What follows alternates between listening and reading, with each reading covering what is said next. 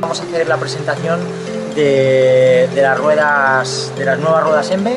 Son las 7.8 de tubular con el nuevo buje también ENVE. Eh, son unas ruedas muy muy polivalentes, te valen para cualquier tipo de circuito, aparte de que son muy rígidas, los que las habéis probado lo habéis podido comprobar.